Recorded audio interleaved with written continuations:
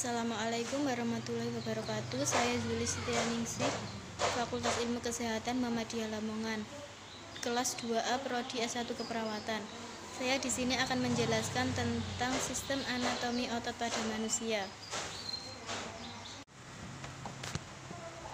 Anatomi sistem otot pada manusia. Definisi sistem otot Sistem tubuh yang memiliki fungsi untuk alat gerak, menyimpan glikogen, dan menentukan postur tubuh yang terdiri otot polos, otot jantung, dan otot rangka. Arti definisi atau pengertian jaringan adalah sekumpulan sel yang memiliki bentuk struktur dan fungsi yang sama. Jadi jaringan otot adalah sekumpulan sel-sel otot.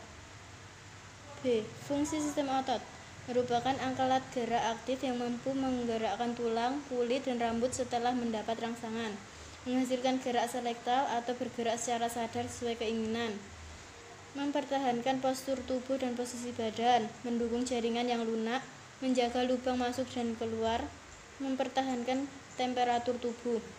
Otot juga memiliki tiga kemampuan khusus. Satu, kontraksibilitas, kemampuan untuk berkontraksi atau memendek.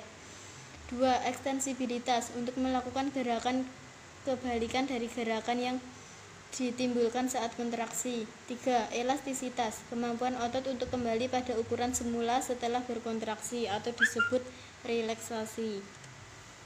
Bagian-bagian sistem otot. 1. Menurut dasar fisiologisnya. Bagian-bagian otot. Sarkolema atau membran yang melapisi suatu sel otot yang berfungsi sebagai pelindung otot.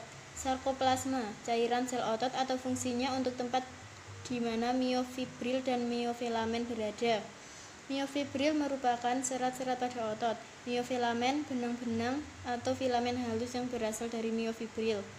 Dua, jaringan otot terdiri dari otot polos atau volunter, otot lurik atau otot rangka, otot jantung atau otot cerdiak.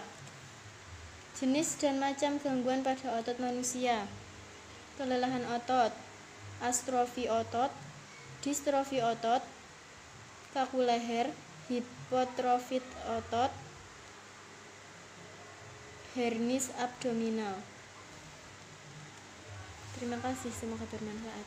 Wassalamualaikum warahmatullahi wabarakatuh.